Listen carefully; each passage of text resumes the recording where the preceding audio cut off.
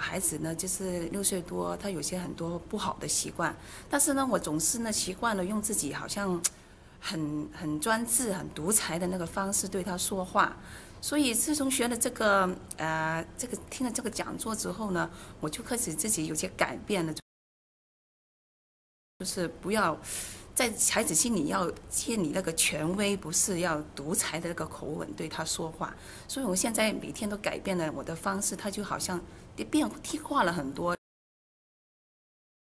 我觉得受益匪浅，呃，与孩子的沟通，与父母的沟通非常的重要。我记得 Jeffrey 讲的最重要的呃一点就是说，如果你想让别人能够听你的，比如说孩子想听你的意见，你一定要跟他处理好关系。这个是所有的你后面做事情的基础，我觉得这个非常呃重要。所以我要想把这个家庭处理好，我要跟老公搞好关系，跟孩子搞好关系，后面的事情就好解决了。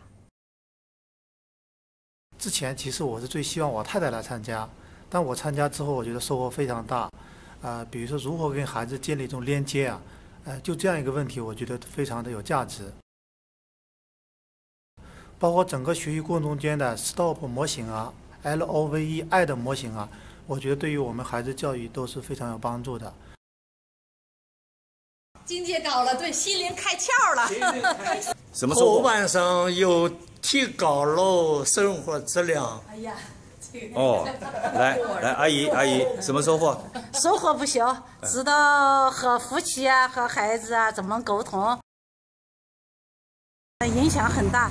改变很大，哪一些具体的改变？你觉得？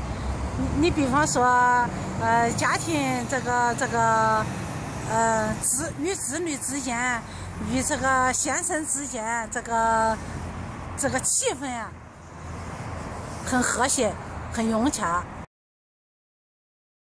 把自己的缺点、弱点啦，要明显的看到，不能。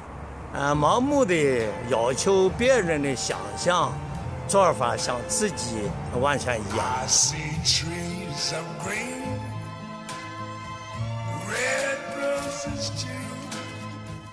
I see them